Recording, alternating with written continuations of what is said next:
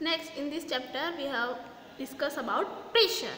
Right? You have learned in class 7 that strong wind during a storm or a cyclone can blow away even the rooftop. जो rooftop होती है उस पे से वो blow करती है. You also learn that winds and cyclone are caused by the differences in air and pressure. Air pressure के वजह से होता है. Is there any relation between pressure and force pressure और फोर्स के बीच में कोई भी रिलेशन है?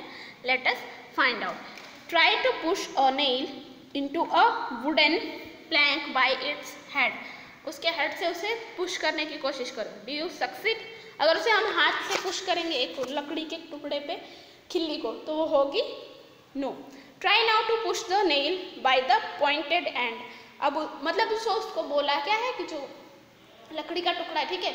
उसका जो हेड यानी गोल वाला पार्ट होता है नेल का, खिल्ली का, ठीक है? उससे आपको पुश करना है तो क्या वो अंदर की तरफ़ जाएगी? नहीं।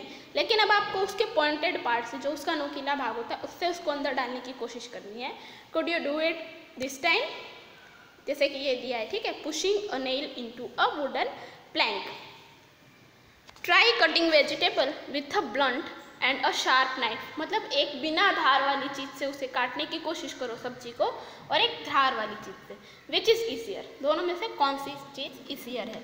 Do you get the feeling that the area over which the force is applied for example the pointed end of the nail play a role is making this task easier तो वह उसको क्या बना रहा है? जो हमारा टास्क दिया है, उसे ईजी बना रहा है कि वो जो वुड में आराम से चली जाएगी।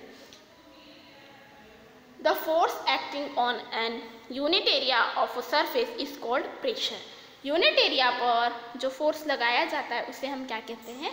प्रेशर प्रेशर का फॉर्मूला क्या है? Pressure is equals to force upon area on which it act act force जिस एरिया पे लग रहा है, उसे हम क्या कहते हैं? यूनिट एरिया पे उसे हम कहते हैं pressure at this stage we consider only those forces which act perpendicular to the surface on which the pressure is to be computed मतलब उसके परपेंडिकुलर लगना चाहिए पैरल नहीं लगना चाहिए, ठीक है? जैसे कि वो इसमें दिया है आपको, ये वुडन शीट है, ठीक है? तो उसके परपेंडिकुलर उसको, उसके ऊपर सीधा वो नेल जा रही है, उसको हम उसके पैरल नहीं डाल रहे note that the area in in the denominator in the above expression so the similar smaller the area larger the pressure on a surface for the same force मतलब अगर एरिया स्मॉल होगा तो pressure कैसा होगा? Large होगा.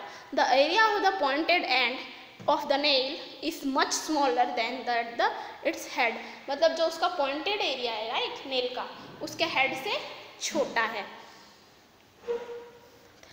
The same force there produce a pressure sufficient to push the pointed end to the of the nail into the wooden plank.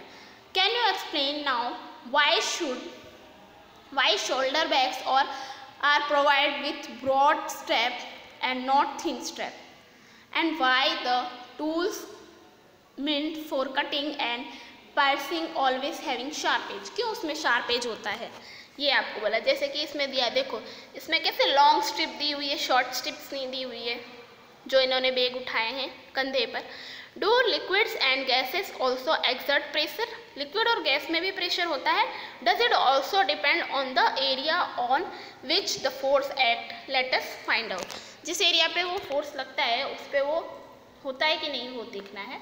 Pressure exert by exert किसके through हो रहा है वो देखना है हमें टेक ट्रांसपेरेंट ग्लास ट्यूब और a plastic pipe the length of the pipe should be about 15 centimeter and its diameter should be 5 to 7.5 centimeter. Also take a piece of thin sheet of a good quality rubber, say a rubber balloon. Stretch the rubber sheet tightly over one end of the pipe. Hold the pipe at the middle, keeping it in a vertical position. Ask one of your friend to pour some water in the pipe. Does the rubber sheet block out? Note also the height of the water column in the pipe. Pour some more water. Observe again the bulge in the rubber sheet and the height of the water wall column in the pipe. Repeat this process a few more times. Can you see any relation between the amount of plug in the rubber sheet and the height of the water column in the pipe ये कहा है। जैसे कि देखो, इसमें क्या लगाया नीचे एक बलून टाइप का लगा दिया है, ठीक है?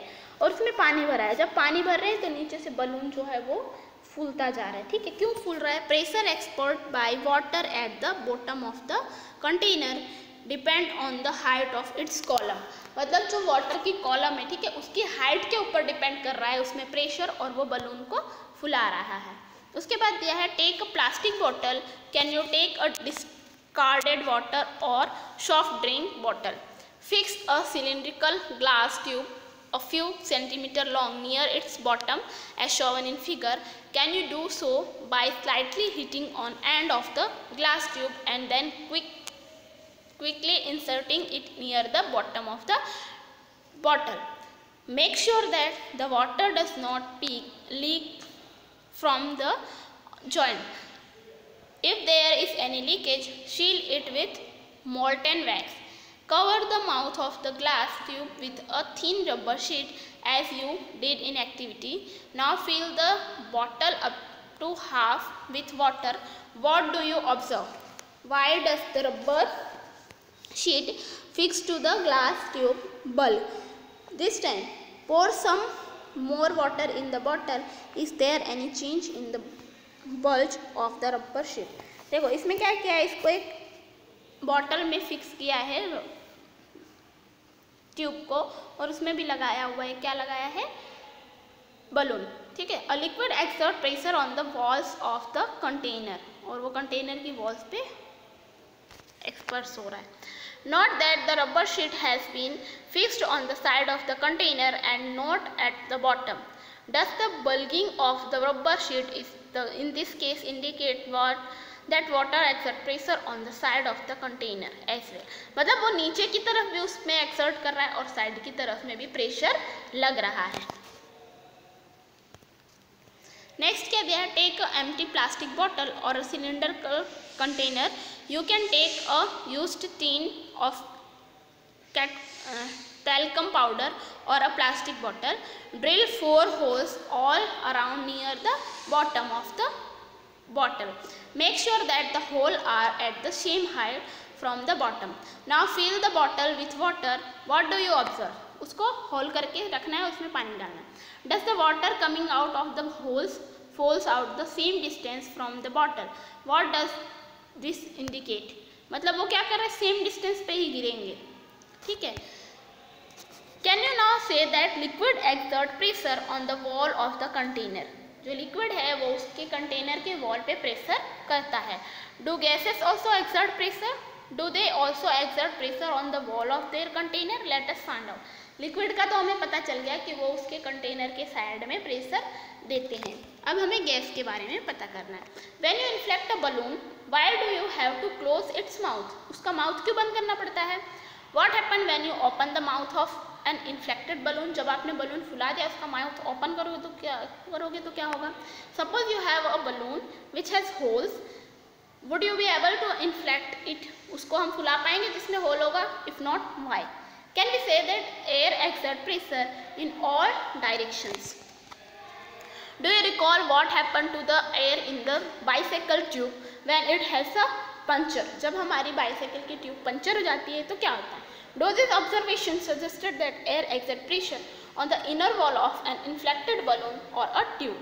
So we find that gases too exert pressure on the wall of their container और जो उसके वॉल होता है, ठीक है, जो गैस है, वो जिसमें होती है, उसके वॉल पे वो इफ़ेक्ट प्रेशर करती है। क्योंकि अगर जैसे बलून है, ठीक है तो उसकी वॉल वो क्या हुई? बलून हुई साइड साइड का वो हुआ, उसके अंदर गैस भरी है।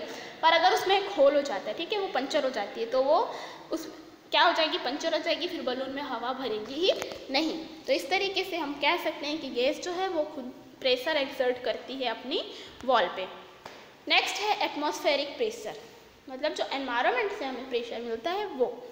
You know that there is air all around us this involve of air is known as the atmosphere उसे हम क्या कहते हैं? Atmosphere the atmospheric air extend up to many kilometres above the surface of the earth the pressure exerted by this air is known as atmospheric pressure और उसे हम कहते हैं atmospheric pressure we know that pressure is force per unit area If we imagine a unit area and a very long cylinder standing on it filled with air, then the weight of the air in this cylinder is the atmospheric pressure.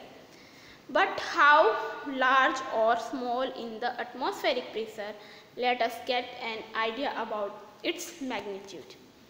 ये एक आपको दिया है unit area ठीक है atmospheric pressure in weight of air column of unit area when you press the sugar most of the air between its cup and the surface escape out the the sugar sticks to the surface because the pressure of the atmosphere act on it वो stick हो जाएगा to pull the sugar off the surface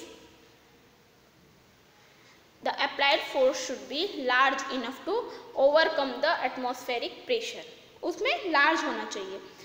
तभी वो उस पर pressure लगा पाएँगे। This activity might give you an idea about the magnitude of atmospheric pressure in fact it would not be possible for any human being to pull the sugar off the surface if there was, were no air at the, all between the sugar and the surface.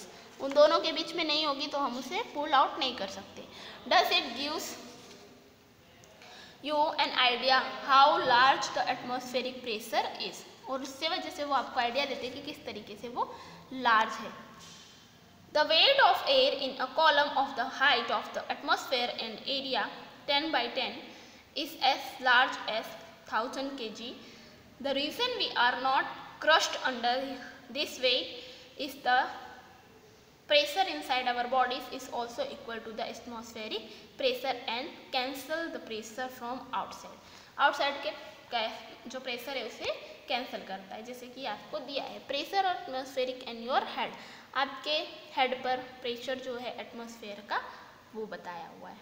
Right so this is our chapter finish here about force and pressure thank you